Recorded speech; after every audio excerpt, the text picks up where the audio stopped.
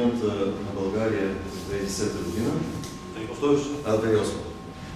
Той ще представи своята дейност в пчелина, професионалното пчеларство, което упражнява на думата. Здравейте, колеги. Няколко думи за, за мен. Борис Борболев се казва, граф Кисаря, 38 години, женен с бели на 5 месеца. Това за мен. За фермата занимавам се с пчели от 2003 година. Към момента са 800 кошера лангстрот. Да дам благ няма. Други с няма само лангстрот стандартна ландстрот система, нищо особено не правя в това отношение. Като много други пчелари, подвижно пчеларство, прашец, структурис, както и всичко.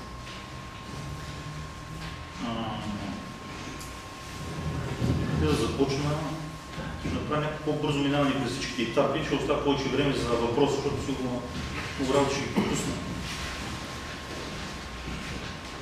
За системата структурата действам нормална ланстрот система, говоря обаче с два магазина и ползвам трети корпус. Това го правя, защото ми е по-леко и от, така успявам да отделям отделен типаж. Специфичното на тези два магазина е, че са 9 рамки. Те пластмасовите разнощители, белите правя.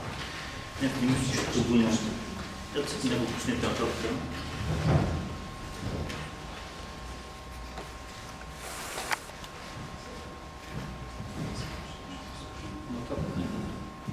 Това е подвижното. Не, е да спреш. Това е подвижното, после се спре на него.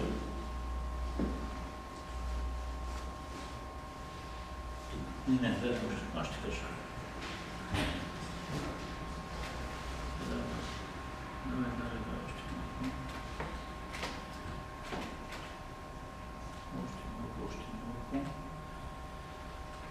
Ето тук. Значи това е един типичен пчелин. Ще върнеш ли? Една снимка назад. А, не, не, да се завърти. Не, само една снимка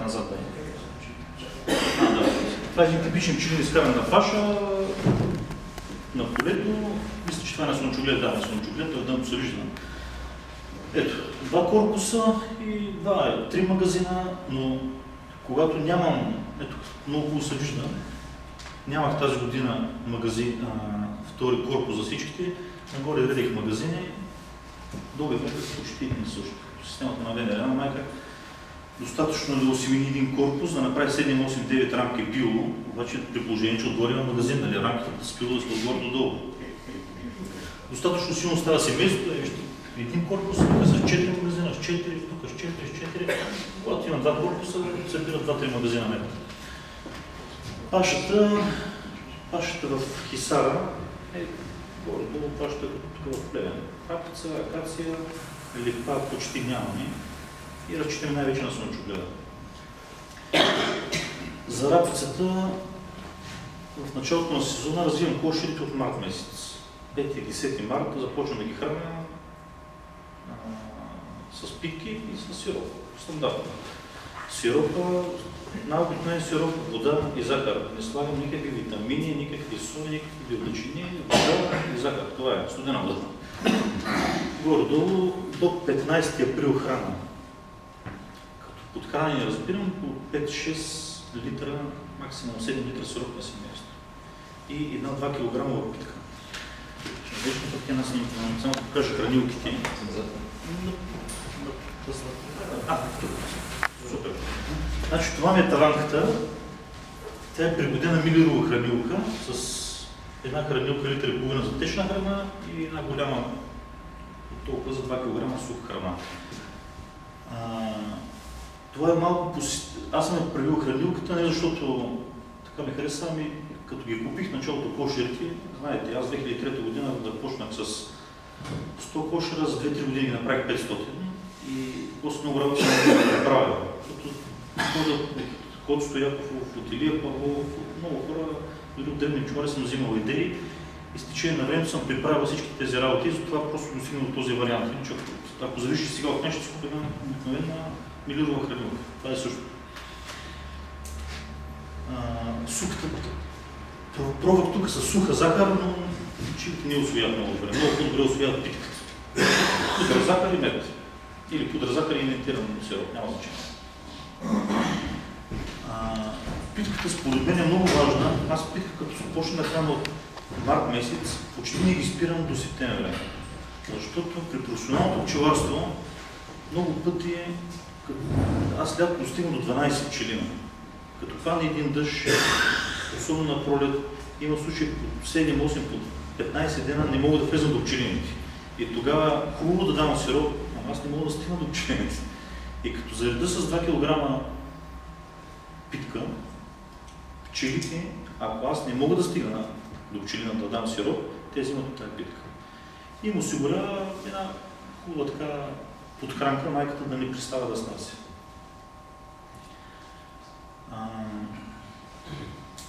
Рапицата, знаете, рапицата, каквото извадим, извадим, всеки знае как се ради рапица, малко преди да прицъфти, въртим още незапечатаната, след това идва акацията и след като извадим акацията, тук е най-интересното. Обяците и хранене. Това е най- най-трудоемкото. В моята работа това е най-трудоемкото. На един, в един момент всички кошери започват да се... Не всички, тя половината кошери започват да се роят. Другата, също време трябва да се храни между акацията и пак подам около 5-6-7 литра сироп, за да направи да съм чугледа. Това е много труден момент за пчелите. Ние го гледаме кошера два корпуса с пчели, обаче ако ни храним, за слънчоглед, направо пчелите се стъпят, знаете.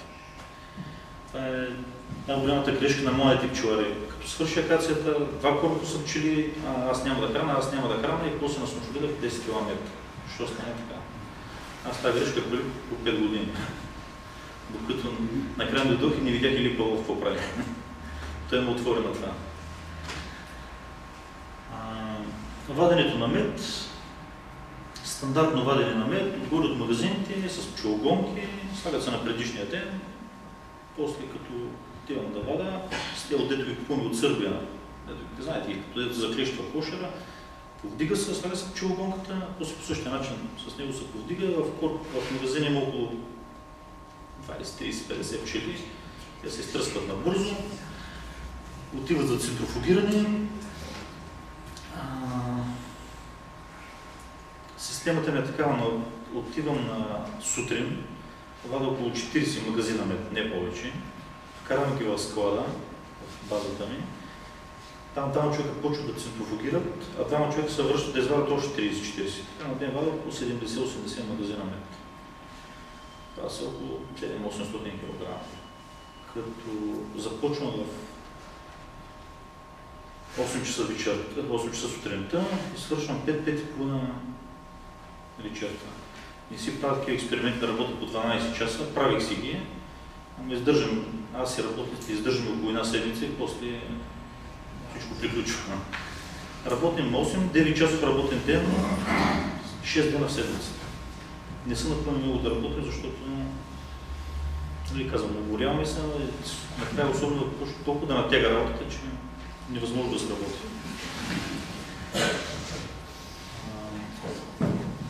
Това е като за, за прашеца имам само 200 кошера дълбоки дъна. Тук имаше една снимка за прашец.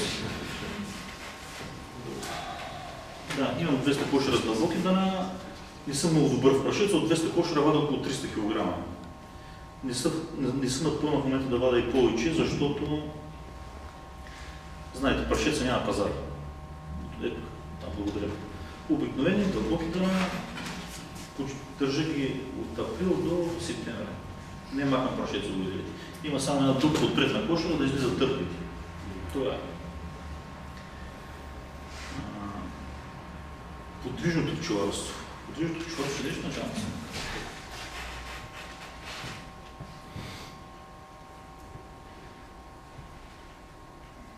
Да, това е, това е ремарке обикновена автоплатформа, тя беше платформа за коли. Тук имаше отгоре още една така, да която качва втора кола. Аз се примахнах, изправих я, платформата е тръпна лафет. Лафета се движи. При маркето събират 32 кошера на един ред. На пролет ги разкарваме с един, се на по 64. Това ръки с тези колички.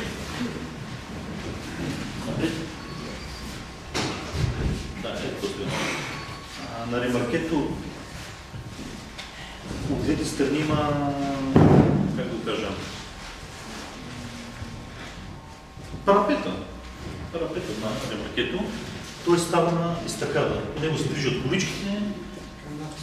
Канат, да, да, да. Двата каната стават на изтакади. Отдолу се подпират на две-три места, за да не се правят тежка, тежка изтакада да не става. Всеки кошер е на отделна метална стойка. Всичко е направено специално за количките. Количките са направени за стойките и стойките за количките. Това е система, която аз сам си измислих. Гледах в интернет някакви клипчета и накрая достигнах до това решение. Като преимущество на, на тази система е, че разтварва се за около 15 минути, твари се за около 20 минути, кошерите се вързват с колани, почти никакви проблеми, нищо не може. Единственото, което може да се обърка е да се спука гума на количка. Значи много просто, няма ток, няма хидравлики, няма какво да се обърка.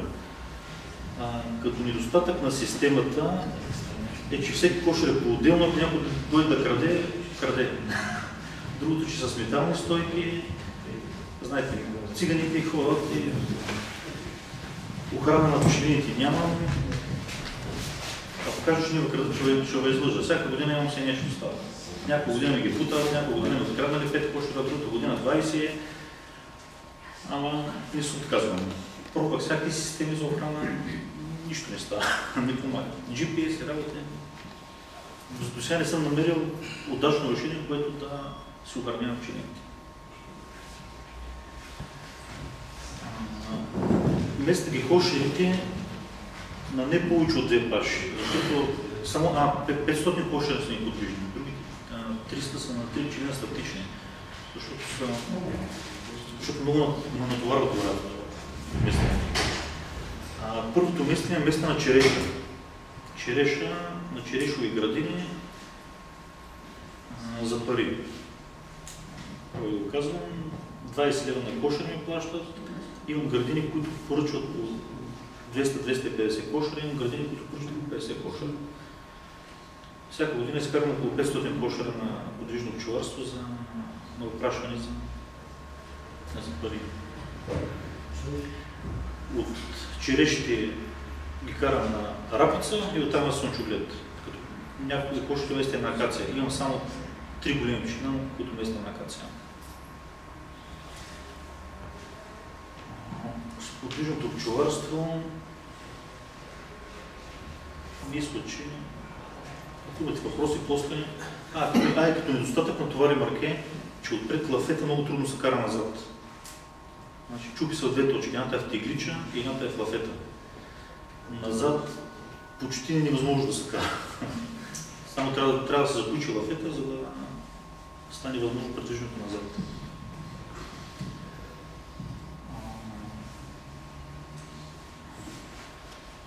Друго, друго, здравословното състояние на семейството.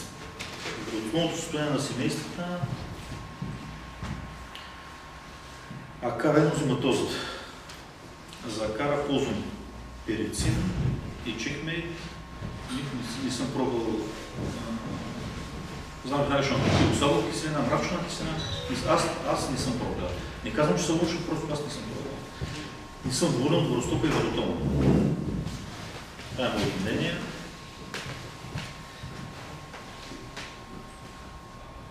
За дозиматозата ползвам дозивит плюс. Харватско. Знаете го, дозивит плюс. По 1 мл на коша, два пъти през 10 дена. Смъртността ми тази зима е направо няма смъртност. Имам 3 или 4 кошера до момента загинане.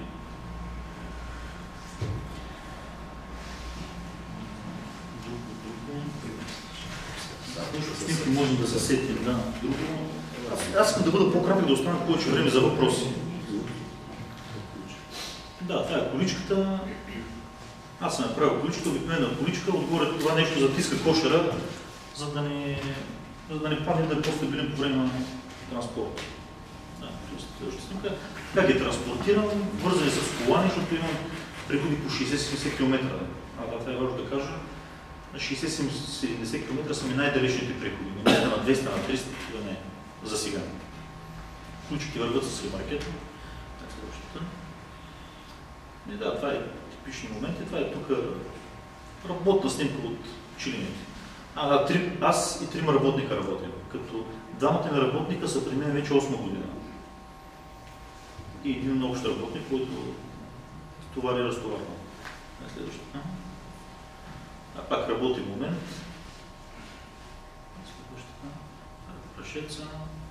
Да, това е. Ще оставяше за секунда.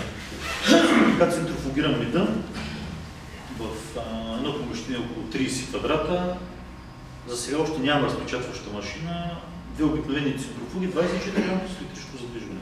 Това е напълно достатъчно за един ден да извади 800 кг.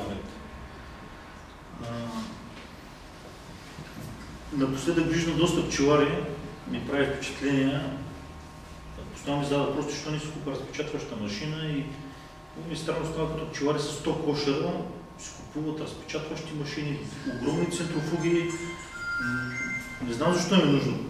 Може би аз ще купа разпечатваща машина, още центрофуги, но за момента не ми е нужно. Това е най-простият метод и наистина без, без особени усилия вада 800 кг на ден.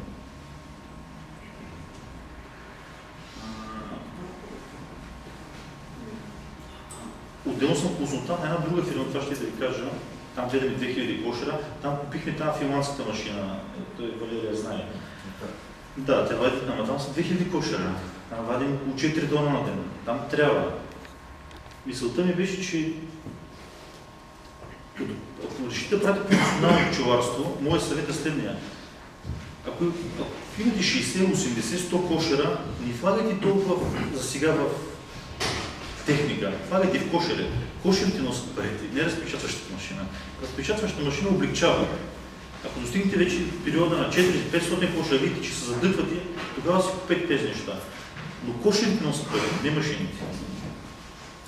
И другия момент, който така искам да ви споделя е за работниците. Много пчелари, това е една от, разклоничите на професионалното пчеларство. Пчеларите не могат да се научат да се вземат работници. Как ще, как ще ми бръкне в кошера, аз, той ще му украде.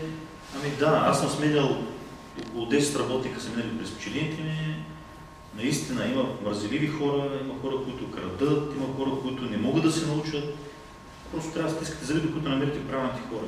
Професионално човарство без работници няма как да стане. Сам човек, е, слушахме на Валери лекцията за сам, за 400 кошера и това е много. Двама човека минимум. Минимум. Моите работници, знам, че ще ме питате, целогодишно 12 месеца ги държа на работа, на 500 лева работа заплата с осигуровки. Наистина през зимата Уплътняваме си времето, някъде имаше една снимка. Научихме се, научихме се да... Назад по-добре. Научихме се да правим кошери. Да, ето. Значи правим си магазините, изковаваме рамки, на година поем около 10 000 рамки, аз продам доста отводки. 10 000 рамки на година, зателвани, основи, магазините си ги правя вече аз, даната си ги правя аз, капаците си ги правя, ставанките си ги правя с, с материали, душоме, обикновени дърводелски машини. Но безработници, професионално човърство просто няма как да стане. Да, това е пак, това е също помещение, огледално на това, което влагаме 30 квадрата пак. Тук зимата има печка и цяла зима работим тук. Да, в момент само. Така, бъди аз не казвам. Да.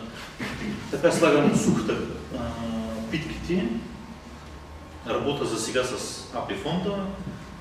Този обръч го слагам, защото знаете, АПИ фондата е доста дебела и като сложа 2-3 кг абифонда да не точа много в началото точки питки, слагам ги и след 7 дена ги няма.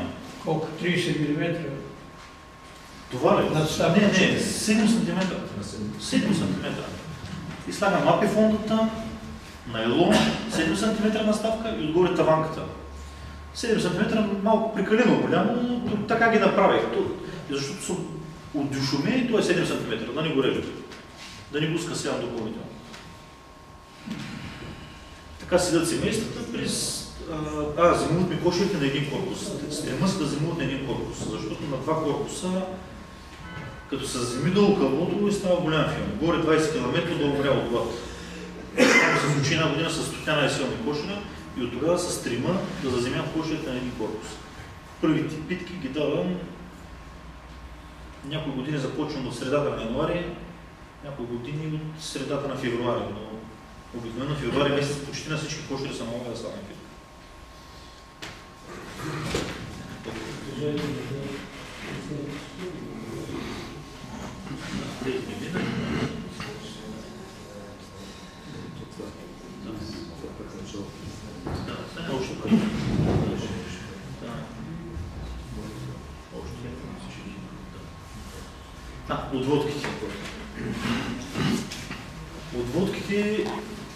Правя последния начин. Това е интересно. Направих си 500, имам такива 500 съндъчета, аз си ги правих. Вижте, и те са милирова хранилка. Течна храна, твърда храна. Имам 500 такива 5 рамкови нуклеуса, направени от дюшуме. И като тръгна да се урвят кошерите на след акацията или след рапицата, използвам маточниците роевити. Една част, една част си правя аз по стандартен начин с пренасене на личинка, както всички производители. Не си ентропит, с пренасене на личинка. Ако имам много поръчки за отводки, заставам, системата ми е следната. Заставам зад кошера и не търся майка. Навеждам 5 съндъчета от тези или 6 и във, всеки, във всяко съндъч по 4 рамки. Като се стремя във всяко съндъче да има две рамки пил и две рамки мед.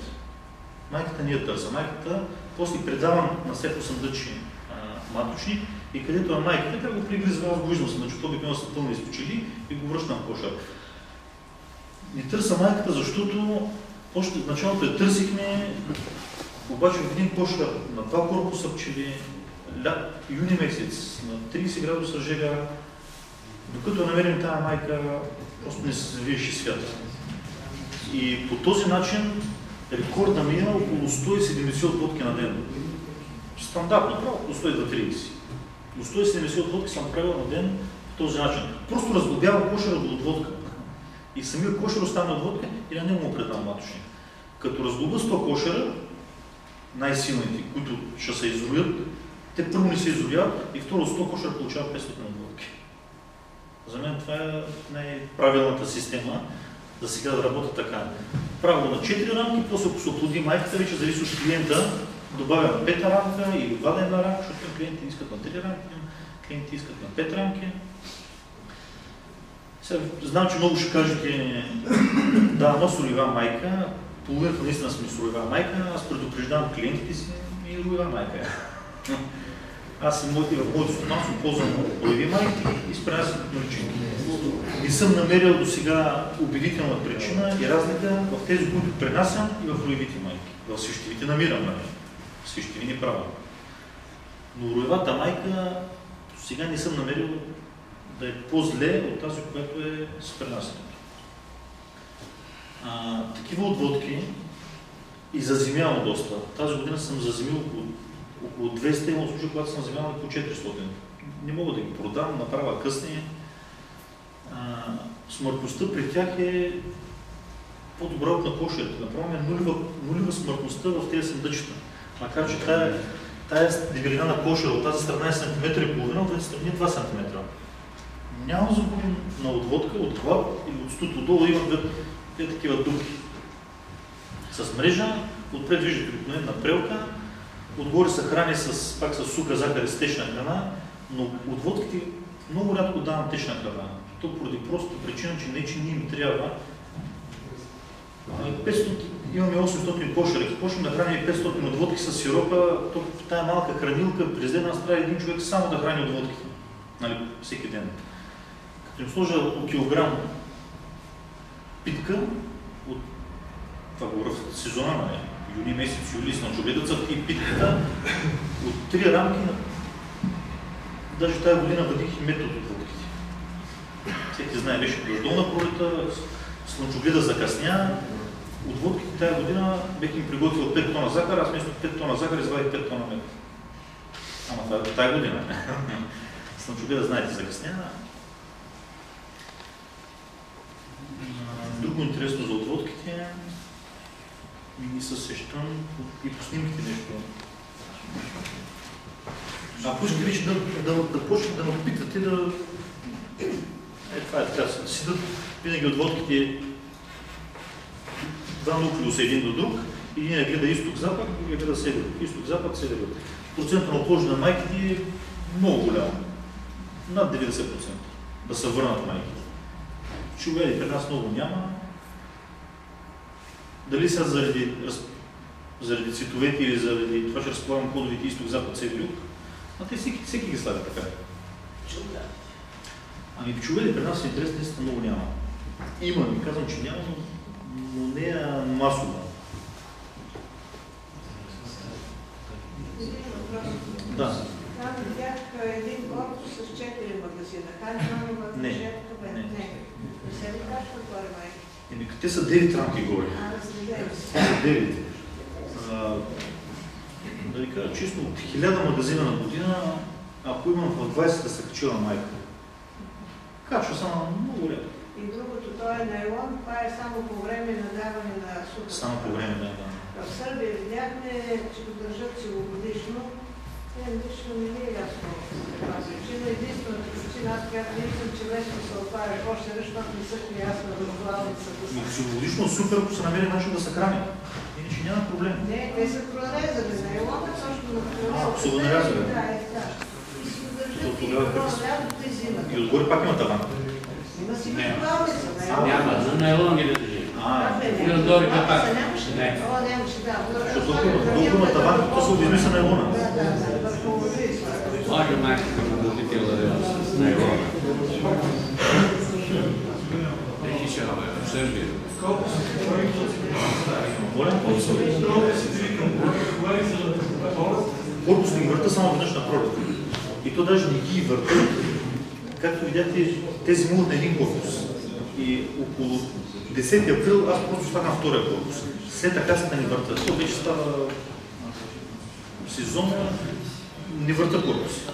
Или ако, е- ако мога по-шер на два корпуса, само веднъж го върта около 15 април.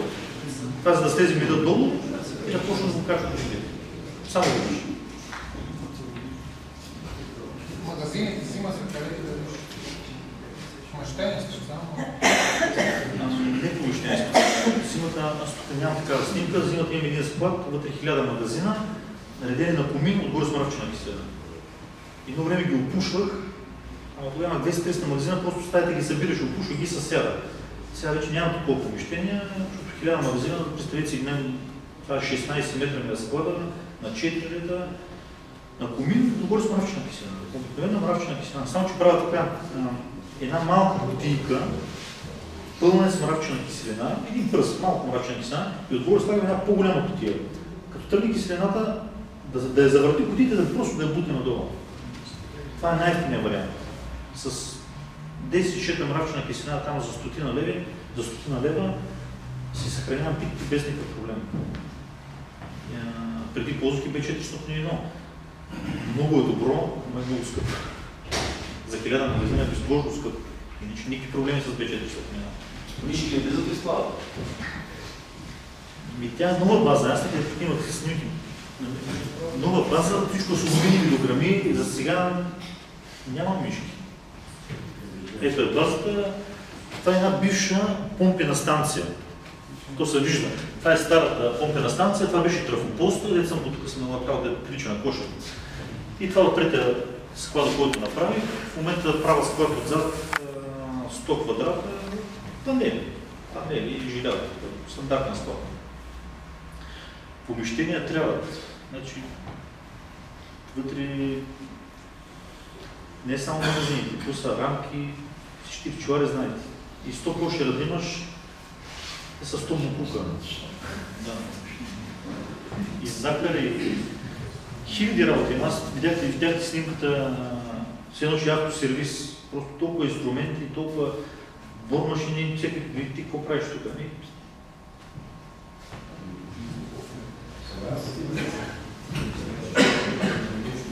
Друго нещо да се сеща да го Големи сме взематозата в региона, не на твоя пчелин само, Ами има да. в региона. Има да. За И с, и с баротозата и с нозематозата. Има. А, няма така както Манол да тръби, че 100% умрели пчелини, но доста колеги, ела да видиш, ела да видиш, синдрома на празния кошер. от колко години тук е проблем? При вас И, две-три. а, повече, повече. В началото, аз сега не мога да ти кажа разликата точно къде почва свършва проблема с баротозата и къде почва с нозематозата. Но на едни и същи пчелари постоянно имат проблеми. И в момента, в който ги отучих да, да спрат да ползват върстоп и да ползват хубавите лекарства, за 2-3 години никаква смъртност от тяхните пчелини, дойде пък нозематозата. Сега не мога да ги убедя да слагат препарати. Те върват заедно. Да, да, да. Значи едно време варотом, варотом. Аз съм доволен, аз съм доволен. Тук в Плевен пчеларството е по-силно развито. По- По-големи пчелари има, по-си говорите. При нас е по, по като, като хоби, как да го кажа. Малко съм професионалните пчелари. Хората са с 20, с 30 кошера. Е, дядо ми така ги е гледал, едно време ние сме доволни. Направо ги се сипа варотозата. И варостоп е варотома. Масова смъртност имаш. Никой, никой не прави контроли. Тая година, като а, служих контролата на пирицина, има по 400 накара на коша. По 4. Вашето. Да, да, да. Е Септември. след като се тренирал с пирицина, или? Ами не, аз значи преди да третирам, правя контроли. Да. Да видя какво пада, има ли смисъл от това третиране. И всяка година пробвам. Още- Още е много добре. Моля? Много е. Дори по 60 по 70 са ми падали на мен с контрола преди. Ама, ама, с контрол, ама с контрол какво? ми началото, края на септември. Ама какво слагаш за контрола? А, Не, края- началото на септември. Ама какво слагаш за контрол? И мисля, че сега съм го пробвал с с мрачен съм го пробвал така нали отдолу и преди да кари. Да, да. По 60 кара някъде. Ама и аз, и аз съм пробвал с оксалова, слагам на 10 кошера оксалова, 80 кара, слагам на 10 кошера пирисин, 400 кара. И то някой път, тези, които съм третирал с оксалова, веднага след тях третирам с пирицин. Пак по 200-300. И това на мен ме навежда ми се очуда, че не трябва да третирам с оксалова. Аз така една година на изложение точно в Плевен, с, с, един, а, например, докторите. И те ми казаха тези работи и те, тяхните лекарства правят пробите с пирацин. Пирацин е най-силното в момента. Е, сега вярно задържа комафос. Комафоса не е, Баш успя да комафоса не е много добре, обаче за сега няма върнат мет за наличието на комафос. Изкопутни вида, пробите излизат. Само цената е малко цената е скъпчка. Цената е скъпчка. Сега с програмите по се ядва, иначе 4 лева. Началото даже беше 5 лева на коша. 4,80. Ама при положение, че не съм загубил един кошер тази година, оправдава се средствата при цена. Както и дозивита. Медицина го ползваш кога пролетта, есента, Октомври. октомври, а пролетта Пролета, като сложа контрола, пара по 5-6 кара. Трета година, трета, С, с какво третираш контролата? Ясно, че ще. С какво третираш пролетно? нищо. Нищо. Ами като сложа, като, на, отивам на 3 пчелина, третирам по 10 кошера с пирицин и като ми падна 4 акара, 3 акара, 0 акари, Няма смисъл. И ако не третираш пролетта, затова имаш по 400 есента. явно за това да. А през август, скоро ти Защото там След края, след края на, на пашата, от 10-15 август, слагам някакъв препарат, лентички. Или воростоп, или апихел, примерно, колкото само да задържа положението, докато дойде време за перицина. За сега правих така. Сега тази година Еднократно ли перци? еднократно, еднократно октомври, когато няма пиво. И че това е късно тогава да Късно е. Късно е. Късно, това са много брои. Трябва да се тази година Да съм обърне. Не, не, не, аз, аз слагам, слагам друг препарат. Примерно дали ще е Воростоп август месец, за да изчисти една част. А тази година, тази година съм заявил чекмейт. Чекмейта ще го сложа веднага след точно заради това проблем. Колко пада по стоп? 20, 50. Била е гладна. Ти мога. А, пила е парта. Мога. Аз постоянно всяка година се уча, питам, съветвам се с други пчелари. Тази година въобще не съм решил точно какво ще правя.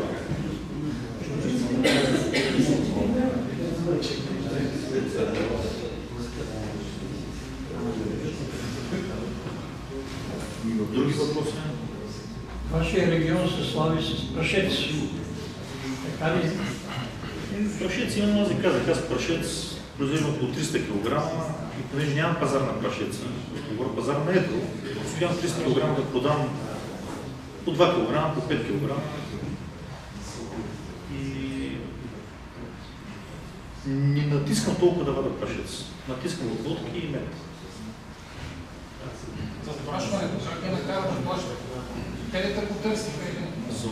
За, украшването те ме- те търсят. И то само черешовите градини. Другите още не. Ама черешовите градини, при нас направиха доста черешови градини, големи черешови градини.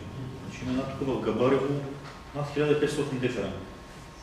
И самите агрономи им казват задължително опрашване, задължително опрашване и това вече не са тези старите им овощари, дето... Това са хора, бизнесмени, той слуша агронома. И агрономът му каже, трябва да караш 300 кошера, той кара 300 кошера, търси, търси начин. Плаща си. Плаща се, а 20 лева на кошер. 20 лева на кошер, той поема само охраната. Всичко друго е за мой сметка. Еми, те са големи градини, те са с пазачи, с огради. Първото време, кога се наложи да слагаш втория корпус, отгоре ли или отдолу? Моля? Отгоре. Отгоре и качвам две рамки пило. Качвам две рамки пило, по-бързо да се качват пчелите. Като го сложа, не че не се качват, ама... Тя топлината ще ви качи. Да, да. И като сложа втория корпус, задължително поне три крадилки сироп. Знаете. Колко подсигурявате на семейството? Моля? Средно колко захар подсигурявате на семейството? Около 10 кг. 10 кг захар, това са около 14-15 литра сироп на сезон. Храна март месец около 5 литра, 4-5. След акацията 4-5. И като свърши слънчогледовата паша, преценявам, пак задължително храна. Може да е и по 2-3 литра, може да е пак 4-5 литра. Но август задължително храна до 15 септември. Пак за 2 кг суха питка и 4 литра сироп. С колко лично съжалява семейството? С колко лично съжалява семейството? Колко количество мед? Да. 10, 12, 13 кг. Той в един, в един корпус, еднокорпусен, те в средата 4 рамки като са пил, отстрани по 2 рамки мед и отгоре по мед. То просто няма как да направиш дебел венец на лангстротовата рамка. Не повече от 12-15 кг. Ама и свършва февруари месец, свършва февруари. Свършва той отгоре. Отстрани стоим, отгоре свършва. Американски дреци има ли баше? Американски гнилец от време на време има. Значи, като казвам от време на време, лично аз, не признавам си, от 2004 година хванах един рояк и на пролет рояка излезе американски гнилец. От тогава рояци под клоните ни хващаме. Амери... А, септември месец болен рояка, изгорих кошера, обаче бех брал магазина склада. Сега няма да си изгоря целият склад. Юли, юли, август, кога беше, излезе още един кошер с американски млец, изгорих и него, ама не питите, не ми да, целият кошер. и да чукна дърво. 2004 приключи с Гвинец. И от тогава рояци получи по дърветата ела да ги хванеш един ден. Не. Това ще посъветвам вас много опасно. На това, че чуди рояци.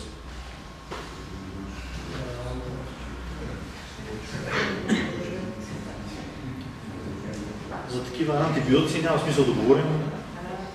Аз произвеждам по 15 на мед, той заминава за Германия, ако имам антибиотик, ще ми върна цялата партия. Такива работи не ползвам. Нито профилактично, нито за нещо.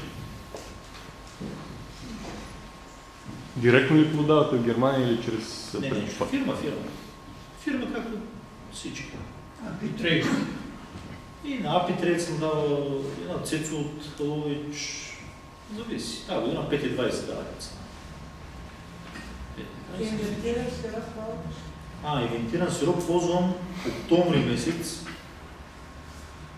Но много пъти се получава така. Август месец, като подам 4-5 литра сироп, август и септември, пчелите направят доста пилово.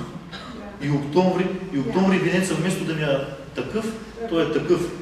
И тогава подавам по литър, литър и половина инвентиран сироп. Той, ако който от вас се ползва инвентиран сироп, знае. Един литър инвентиран сироп директно прави на 3 рамки по 3-4 санта.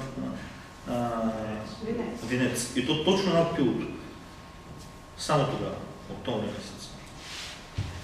Защото сега тук имаме един инвертиран в клуба и той се закароса. Стана да... Е, не все трябва. едно, че Е, не трябва да се, не трябва да се. Не трябва. Аз ползвам на аграма. на Тези, Апи фонда. Апи инверда. Сега хора почнаха да правят иментиран сироп. Аз не знам. Те го почнаха от една-две години. Нито съм пробвал, нито мога да ви кажа.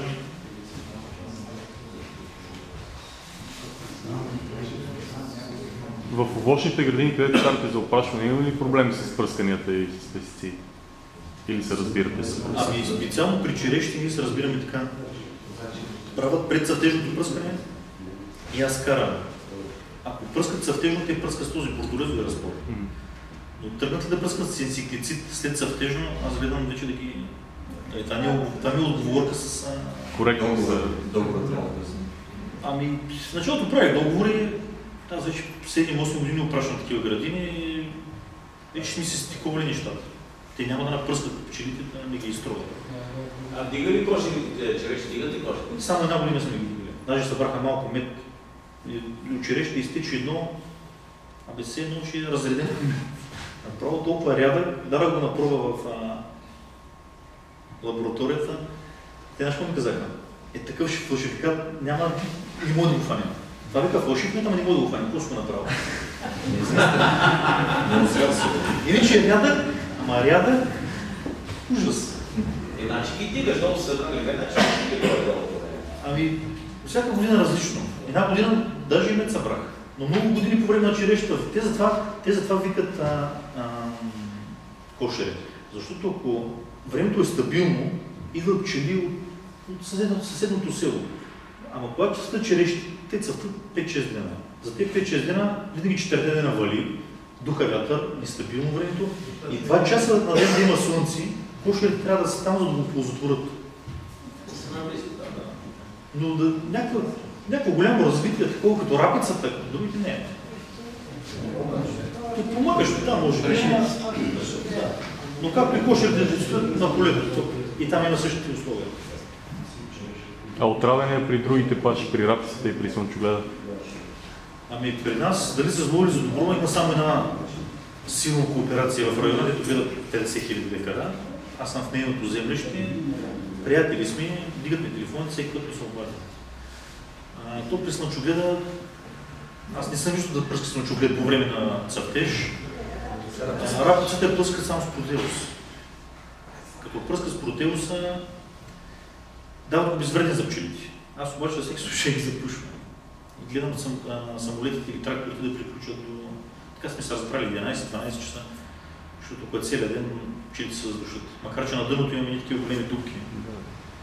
Значи това също е интересно. Като си купих, а, като, факт да го кажа, като си купих кошерите, първите 100 коша, Младен Заров от Сливен Димикс, аз бях първия клиент 2003 година.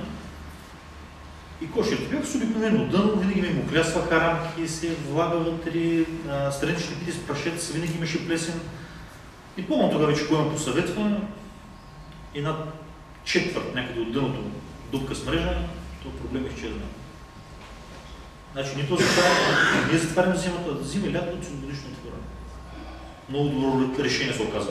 И след това се наложи вече, всички така се правят вече кожевите. От тогава 2003 година така ги купих.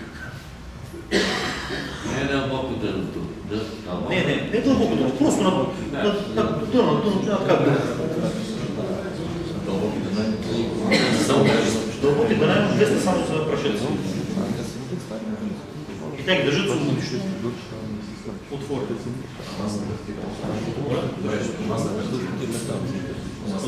За карта. Да, да, да, ако искам да контролирам кара да видя веднага. Обикновен вестник намазан с свинска мазда.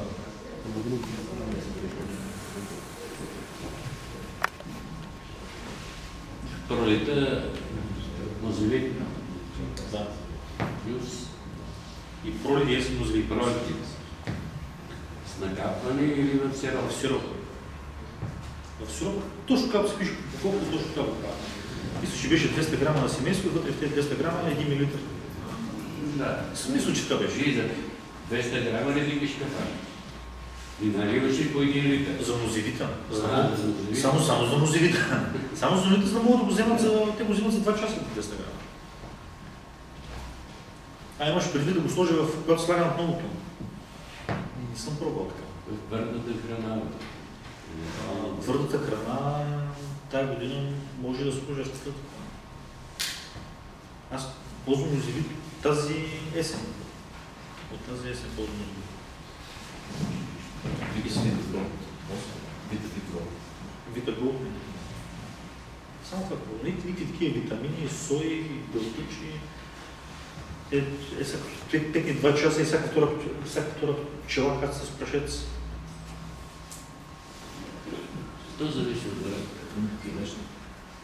Лешни са. Вижте Се сега, наречни грамост и не. да ви кажа, да ви кажа за тези работи, аз и да пробвам няма как да разбираме.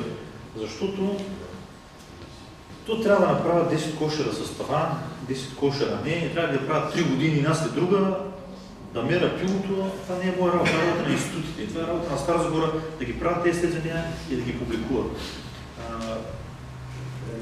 Аз на това нещо на пчелари много не вярвам. Говоря само за витамините и за тези добавки. Ще ви кажа, що взимал витамините, служил ги в... Има 30 кошера, служил много пчели, много пчели. И той до него 2000 дека рапица. Викам, ти сега от витамините или от рапицата? Как, как разбра, че от витамините? Много съм доволен, много съм доволен. Да, или обратното. Нали? А, много пчелари правят след, средната, при нас говоря. Тук сигурно по-малко тези работи. Даде 2 литра сироп на пролет и го наблъска този сироп с всевъзможни глупости. Викам за какво? Дай 5 литра сироп, чист. Ти с 2 литра сироп, ама аз вътре съм сложил 5 такова, такава соя. Викам ти 2 литра сироп, и да сложиш 2 литра сироп, нищо. На пчелно семейство, на пролета да го дигнеш. Те разчитат не на храната, а разчитат на добавките вътре. Което според мен е грешно.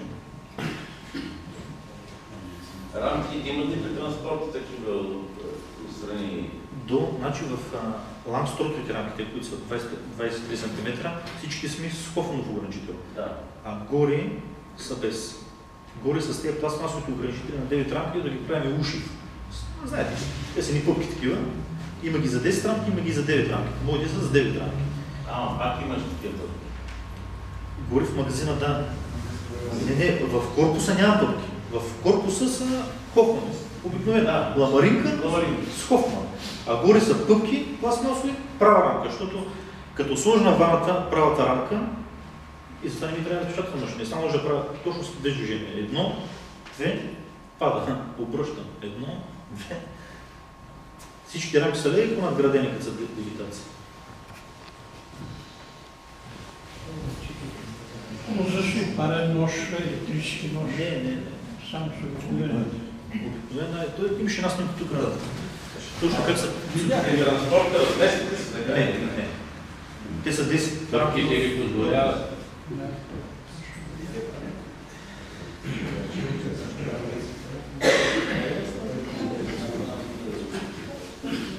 Ето, само че тук в момента момчето се реже такава рамка. Там, там мисля, че е Лангстров е тази рамка. Да, тая е Лангстров.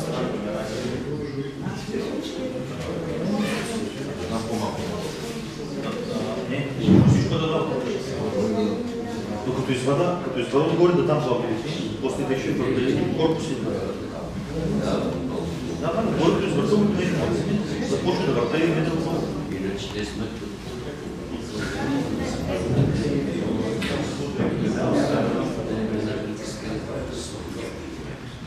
Друго, друго, а тук имаше и бушуки за вас. Може да кажа. Бушуки такива може.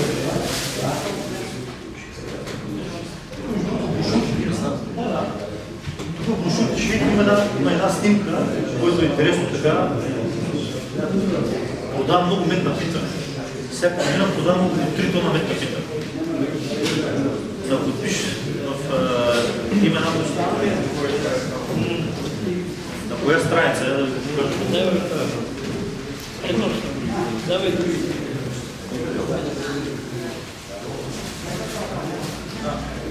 Е, като разгърнете тази страница, е тук, е показана една метална стойка и вътре мед напита. А, Това се слага сутринта на блок маста на хотела. Имам около 20 хотела някъде.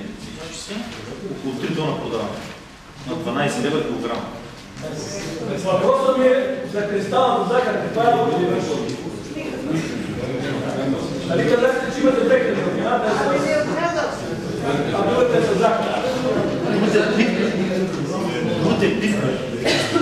Е началото слагах кристална захар, ама пчелите им ние щат.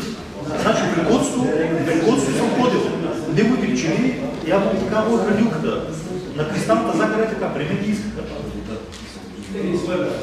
При мен не искат. Обаче като слагам питка, пудра, захар и... И мед, примерно, или, или е, фруктоза не, просто не шесте. Имитиран сироп, ядат няма проблем. Даже ядат повече, колкото трябва. Поддържаща паша. Поддържаща паша.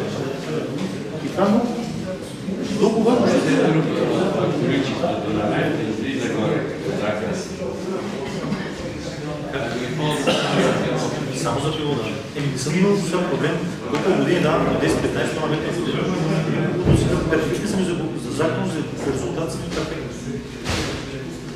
Захарта, да сте каква да е, защото ме разсъдили захар. Или за карта, отиваме на захар от складове.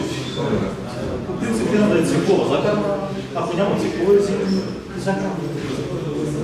Сироп не това. Сиропът призман не това. И зависи. Някой път даваме сиропи на 20 марта, някой път даваме чак на 5 април. Цъфтеж. Разпочва цъфтеж. И винаги като давам сироп, винаги като давам сироп, значи по време на 10 дена напред. Може на 15 април да като дава 5 дена валежи и аз бързам да хода на храна, защото да завали после. Винаги Говориш с този нож, така както отпечатваш, ножа реже вертикално нагоре и фашата остава залетена. Не пада. А, а. Не пада. Някой път пада, някой път не пада. Не, обикновено нож. Чува. Аз се извинявам, един път не съм гений или друго. Един път видях една стара коса от баща ми на, едно дърво там. И направи, косата има един борт. Нали? Геобразно. Ако ножа и другото нещо, което при мен, пинката стои на стойка така, и когато ножа е подъгъл, нали, фашата се отлепва и пада долу в корито, каквото сте направили. Някои от колегите се идва до мен и ще го видят. Така че, ако питите са надградени, както казваш ти, раз, един, два пъти, тук един път така постъпателно, като минеш, излишно казвам, надградени пити, вашата пада долу, седи са босък и така нататък. Лошото е, че няма производители, които да направят това от хубав материал. И аз съм направил и на някои колеги се надавал. Нали, От косата става идеална работа. Като работя, както работя рамките, без разширенията, тръгваш от един другия става.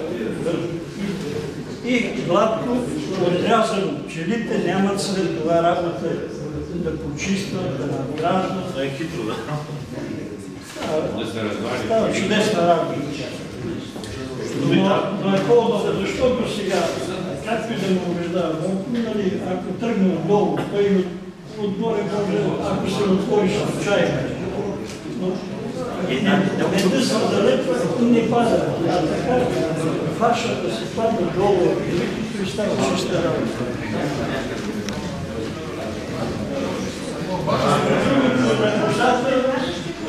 Една дръжка,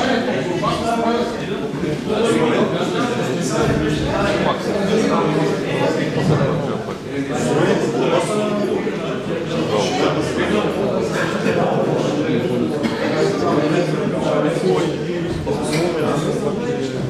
Валерия ме пита за борба с роени. Борба с роени, както всички правят. Слагам магазини, ако стане.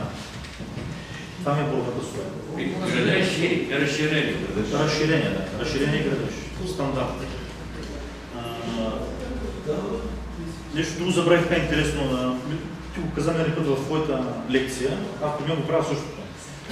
Като стане 15 април, отваряме кошерите, нали, нали, при нас няма такъв пролетен преглед, есенен преглед, по осведомители няма. Те, Ако отваряме кошерите, ние го отваряме да му правим нещо. Или да му слагаме основи, или да вадим мед, такива, да се отварят кошерите, защото просто така трябва да се отвори, няма.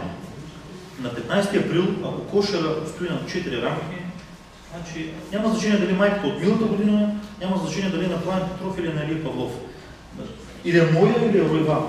Що на 15 април тя на 4 рамки, директно, директно отварям, мачкам майката, кошера върху съседния и продължавам. Пръскам малко, имам един пулзатор с ракия. Дали на 3 години майката или на една, също нещо и стартовката. По време на сезона, аз много повече губа кошер по време на сезона, губа около 50-60 кошера, отколкото през зимата. Търтовки, дали случайно сме значкали майката, дали са направили самосмяна, дали са изорил, примерно, защото имаме такива. Изори са кошер, не може, не сме го фанали на време, станала тартовка, тартовка, пулверизатора върху съседния кошер и само дъното и капака да гледираме в комбуса. Такива да оправим тартовка, да не, не, не. не. Началото слагах вестник, там мажа, никакъв проблем за пчелите. Никога не съм видял, само пръсна с една, а няколко пъти, като се забравя пулверизатора, ракиите там или лука, и без него. В съседния кошер в лятото никакъв проблем. Не съм имал. Не, не, не, ги тръска. Моля? Цялата година. По, време на паша на рапицата, и на кацата, и на слънчогледа. Кой начин? Как по кой начин? Слагаме През магазин. не в... Значи, нали, много, много рамки ми отиват. Това метките, който го видяхте. И изградена основа, изградена основа, както стандартно. Нищо особено. И по време на рапицата, и по време на акацията, и по време на слънчогледа. Само гледам по време на слънчогледа да няма повече от две основи, защото тогава събират много метки. Но на рапицата и на акацията ги бъдат.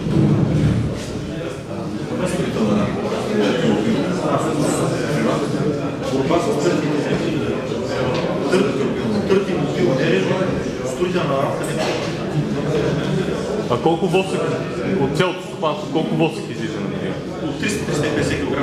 А от, от разпечатки имате ли представа колко, каква част е от разпечатки? Само от различни. Няма бракуване на рамка. Малко. Бракувам на година 500 рамки. За мен 500 рамки е много малко. Няма по рамки само като влезат в като влезат за фотографиране, черните рамки ги отделят. От черни рамки излиза много малко, почти цялото количество, 95% от а, разпечатки. А разпечатате, центрифугирате ли ги, мачкате ли ги по някакъв начин да изкарате. Изцеждам. Изцеждам ги после. Нямаш някой. И съм си купил. Това между другото най-ми харесва сега. Единствената машина, която ми харесва и искам да си купя точно него. Тая година ще направя всичко възможно сега. За изпръскване на вида. Разпечатване. Не, не, за шнека за, шнека за воска е много. Ние го имаме тази машина филанска, там е дето гледаме окей, 2000 кошера, там го имаме, там е супер. Вие как процедирате с печатите? И отсеждам. Това да се оцени там много остава. И ми остава. Остава, знам. Промиване после с друга. И не ги пробия. Не ги прави. Не, То значи те не стоят може 20 да излезе мозъка както трябва. Да, 24 часа стоят в едни касетки и после тези касетки във ваната. Там се изрежда 24 часа. И после след за касетка съм направил по надъно, стоят още около, около 2 седмици. Просто много такива обикновени касетки за хляб. Да, да, да. Ама след и пак остават. Няколко пъти, като имам време, ги промивам.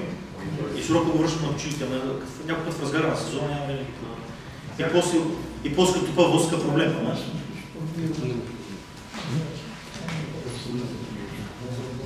Как се правите с воска толкова много отводки? Сега да, с тия основи.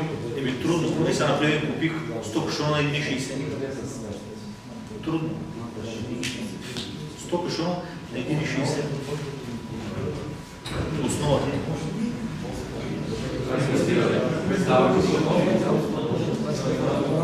Лоша работа. Не, всъщност тя работа с воска, ние го бъркаме в момента. Воска е продукт, който ние произвеждаме. Това, че поскъпва е добре. Това, че някой такъв като мен се е продал водките, е,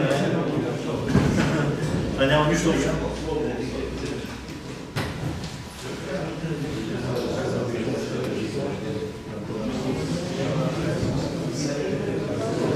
Или други въпроси?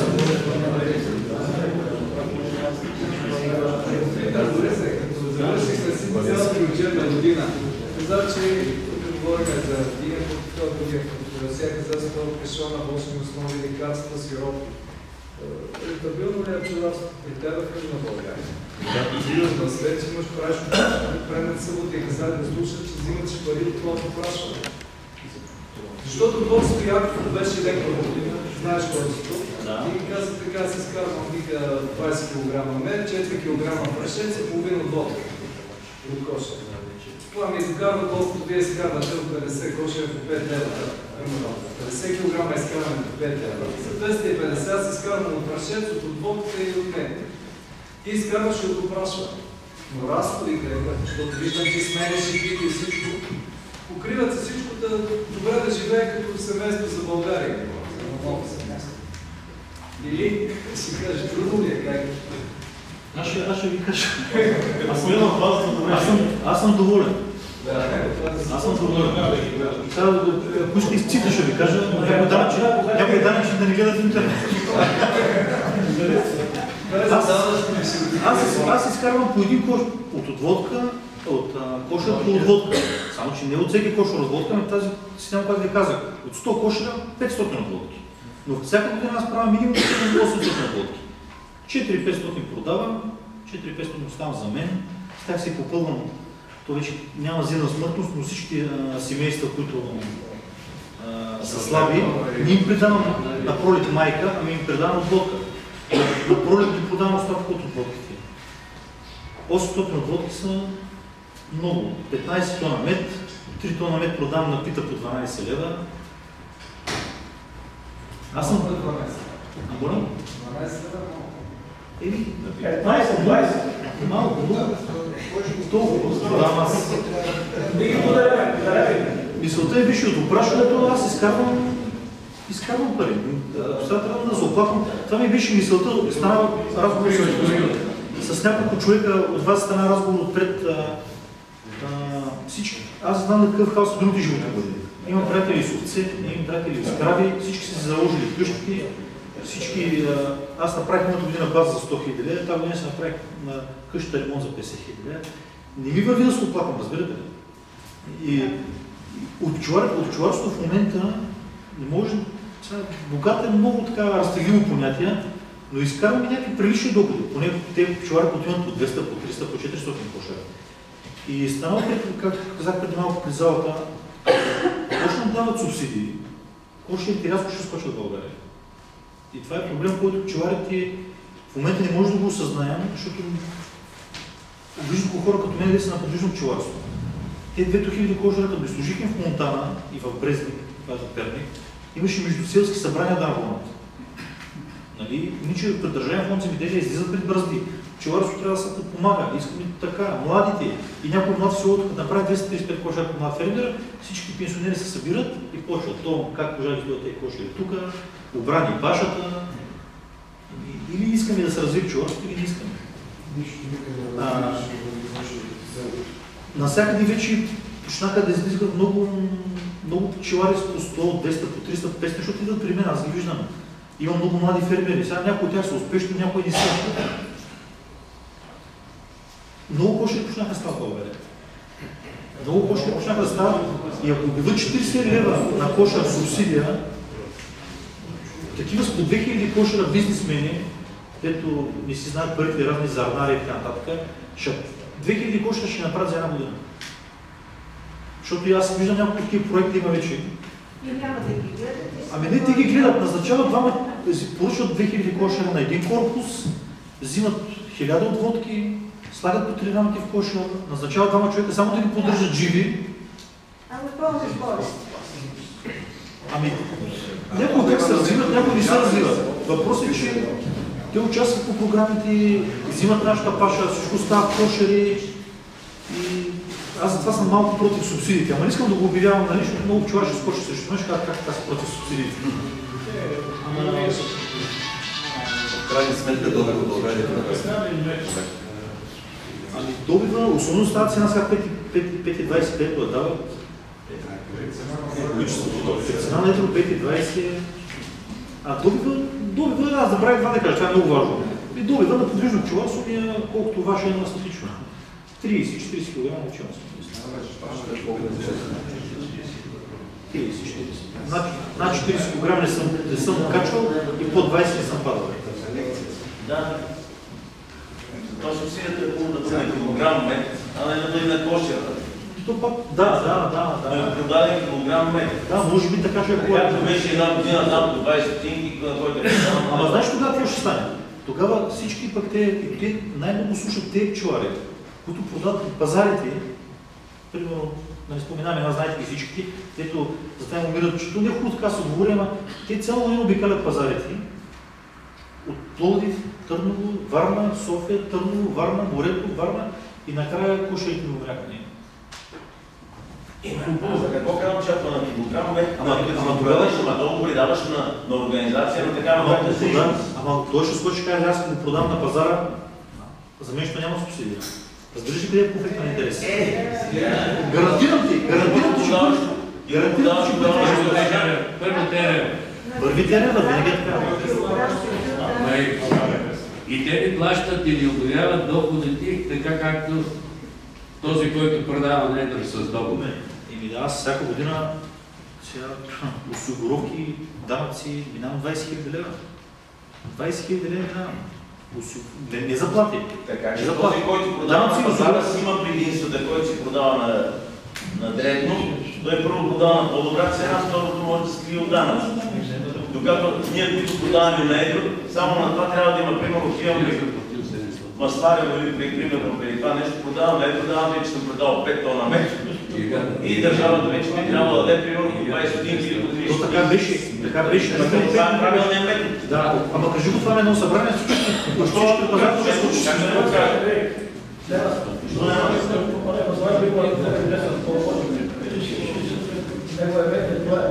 Знам, че не е го метод, но ние това трябва да се борим.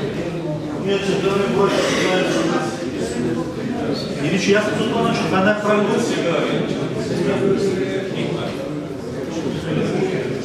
Благодарим на господин Морвалевски за интересното изложение.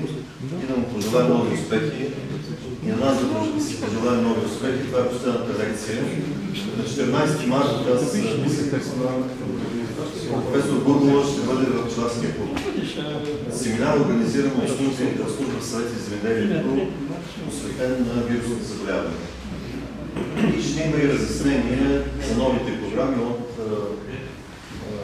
служба съвет за земеделието. На 14 март от 10.30. 14 март събота. На 14 марта до 10 часове на клуба Велика Гургова. Тогава има изложение хубаво. Тук вече не сме платили. На четвърти изложението в Пловдив. От 4 марта Борис от 10 години участва в тази Между другото, Аграта, аз оттам, аз участвах в началото точно заради това опрашване. Даже на щанда бех наредил мед само за... Даже не го продавах. Първите 4 години. И раздах ни листовки опрашване, опрашване. В началото имах случаи, идваха ми, искаха ми пари. Аз да се закарам кой Ама след 4 години се обрах нещо. Аз там ми бяха първите клиенти от Аграта. И в началото не да се продава.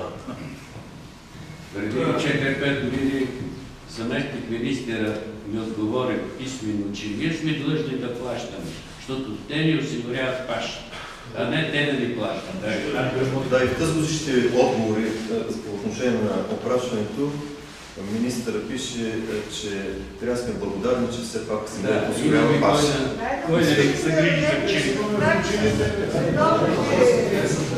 Десет пъти е по- десет пъти го дават по-голяма сметка на редактора, отколкото на твоя на пчела. Е, да, но това са отношения между арендатор и пчела. Ако съм меси държавата, Ние това искаме, но те не са На работа кой ще продължи си на работа на опрашва. в другите държави плащат арендаторите, ама те там са традиция. производство, има традиции, има... А на работа се ходил ли си на опрашва? На работа се пива да не се. Аз изкарвам Платено така. на платено не. Платено не. Само череш. Само череши и няколко години хора на Те са едната, едната градина смесена череши и ябълки, на две години ходих на ябълки и толкова се отказах. Ябълката не е по-добра от черешка. Много по-добре. Като е. Не знам.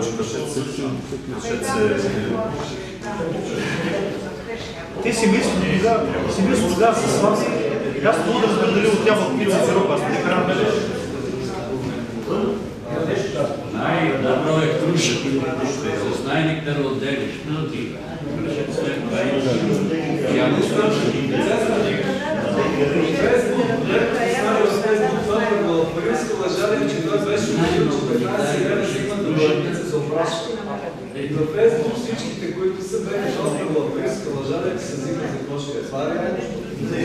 Четири години. Четири години Четири години вече получаваме 15 лева. За работа и самочовек 4 години вече получавам и аз подготвям да си един материал за това и какво ще този въпрос. Как сме стигнали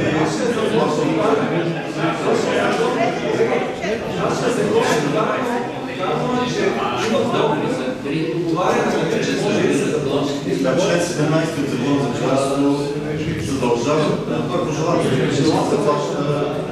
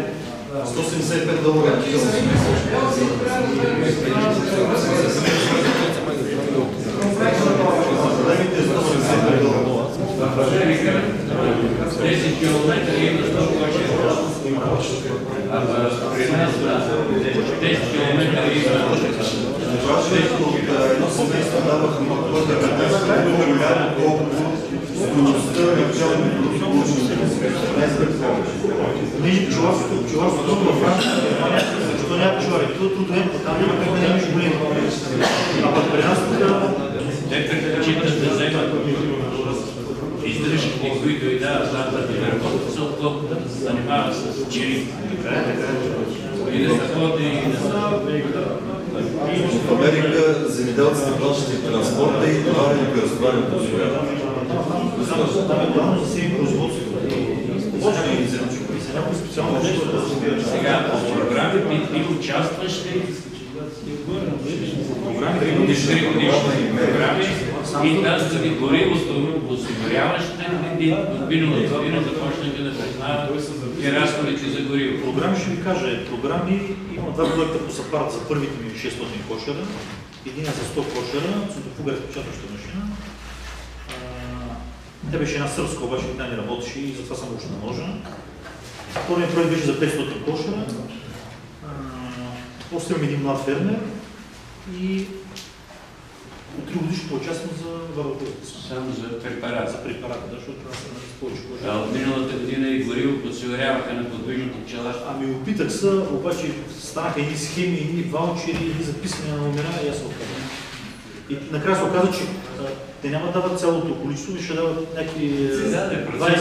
20% или какво. Да. Аз 30% от. И накрая ти ще, ще ми дадат някакви 200 лева, викам, «О, По-добре да не тичаш, да вадиш документация.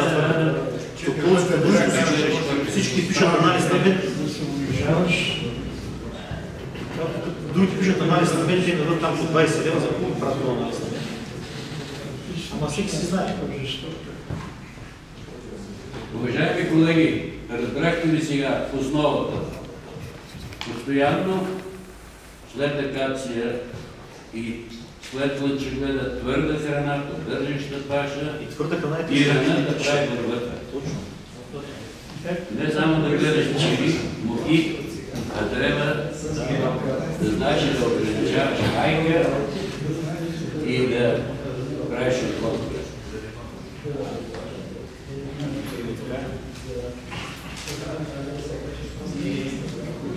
И повечето работа, ето аз съм сигурен. Всичко след ви казах, 99% вие го знаете. Много хора го знаят, обаче не го правят.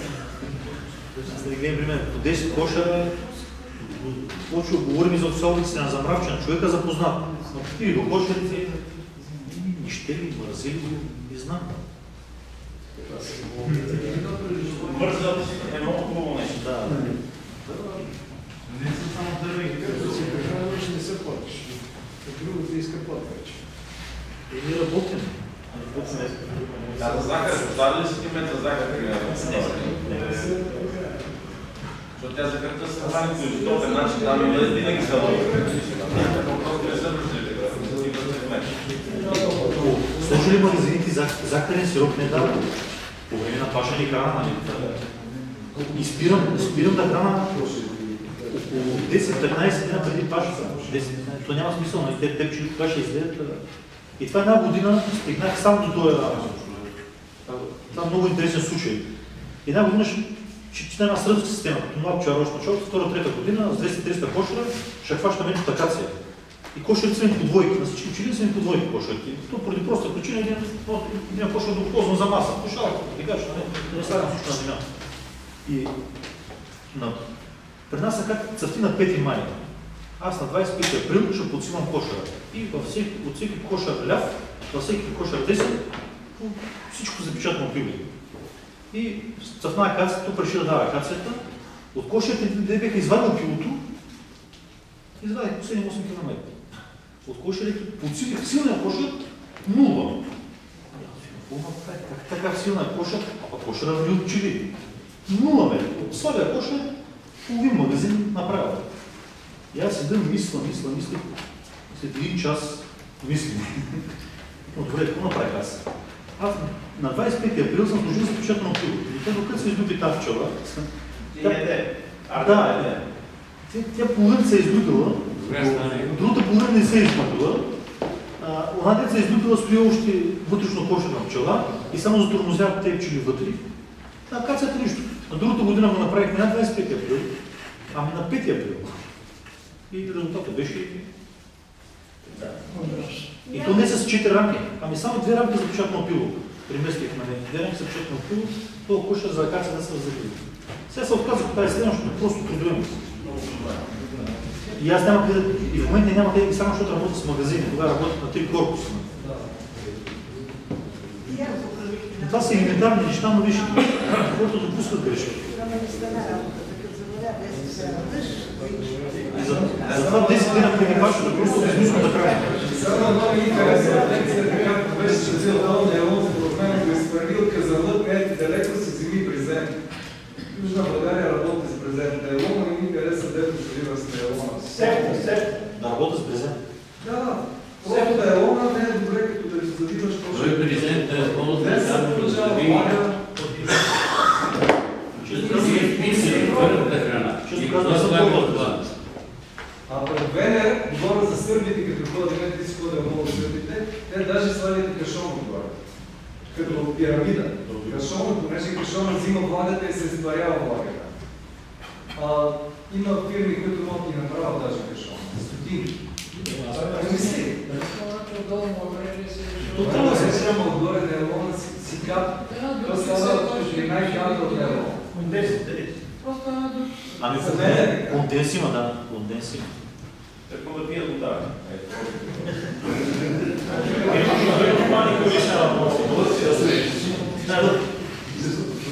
Аз съм да пробвам.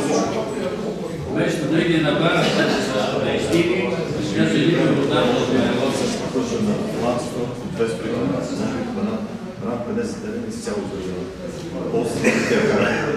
За, за строителна. Изцяло, изцяло, цяла работа. Крайно. За кара аз... Не знам професионален човек да бъде какво се кара с строителна работа, просто никога не съм казал. Строителна работа. Желан строта е по-трудно се работи с човека. Много дигари. Е, никъде. И то поради проста причина, че те караници, И аз всеки да го стоя малко на страна. Защото имам и от моята учителите имам приятели, и от друга страна имам приятели, и те по пазарите карат се. Аз логично не знам. Е, Иван Кожухаров, като ме награби, тук са направили да движението, так, да съм този град, да е по федерацията, нали? Да съм първи върху на Иван е... Не ми се влизам в такива излишни, излишни бои.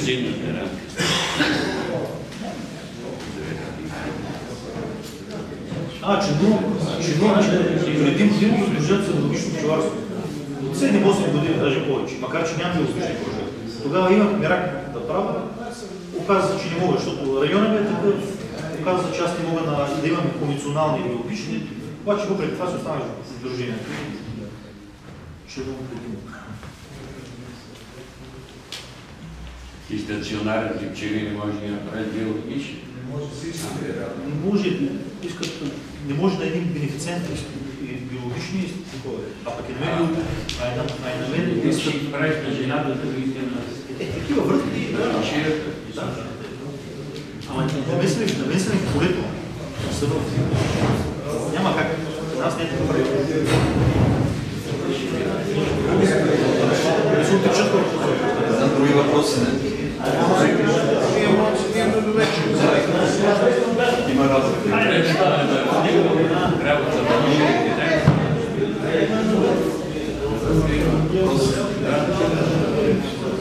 14. marta. Da, i... Pozdrav.